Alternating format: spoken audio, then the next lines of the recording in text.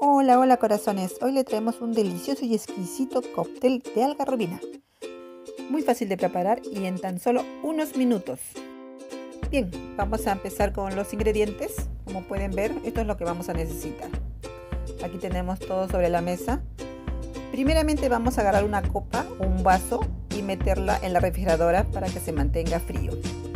Luego vamos a poner la algarrobina alrededor del vaso. Como pueden ver aquí, así. Ahora vamos a la licuadora, vamos a poner 2 onzas de pisco. Yo agarré este vasito que más o menos equivale pues a una onza, ¿no? Bueno, entonces ya puse 2 onzas. Ahora vamos a poner 3 onzas de leche evaporada, helada. ¿Ya? Helada.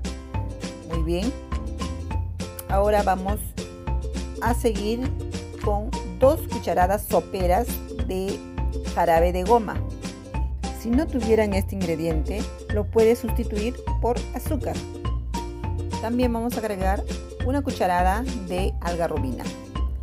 Si ustedes gustan, le pueden poner un poco más. Ya depende del gusto. Si ustedes desean con más sabor algarrobina, ¿no? Ya dependiendo. Y también vamos a agregar una yema de huevo. Y le van a poner 6 cubos de hielo. Yo puse un poco más porque mis cubeteras son muy pequeñitas, entonces le puse de 10 a 12 cubitos. Ahora sí vamos a licuar agregando una cucharada de vainilla. Vamos a seguir licuando por unos minutos más.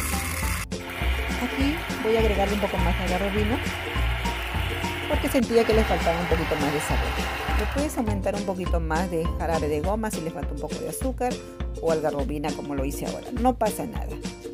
Bien, ahora vamos con nuestra copa que teníamos reservada y vamos a servir. Qué rico, miren, súper espumoso. Wow, no saben, tiene un aroma espectacular. Y por último, vamos a espolvorearlo con un poquito de canela en polvo. Ahora vamos a degustar este delicioso cóctel de algarrobina que lo hemos preparado en pocos minutos y súper fácil de hacerlo. Así que chicos, chicas, prepárenlo. Aquí en Perú es tradicional este cóctel para reuniones, cumpleaños, matrimonios y reuniones de amigos. Ella es un clásico. Y más aún con nuestro pisco peruano, nuestro pisco bandera. Hemos llegado a la parte final del video. Espero que les haya gustado. Les mando un beso enorme a cada uno de ustedes. Muchas bendiciones. Bye.